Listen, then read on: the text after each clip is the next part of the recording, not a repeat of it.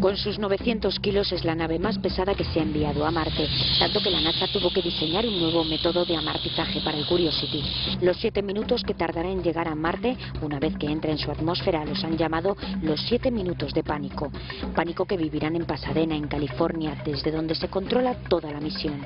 Durante ese tiempo se perderá toda comunicación con el MSL, el Mars Science Laboratory.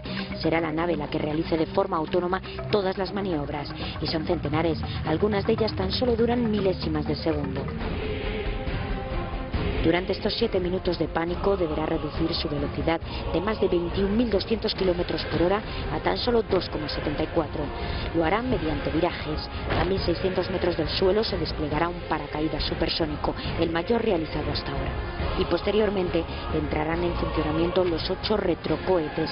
Estos se invertirán a unos metros de la superficie para que la grúa de la cápsula extraiga el Curiosity y lo deposite suavemente en el cráter Gale.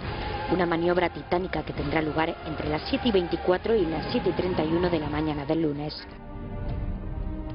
De las 43 misiones enviadas hasta ahora a Marte, el 70% han acabado en desastre.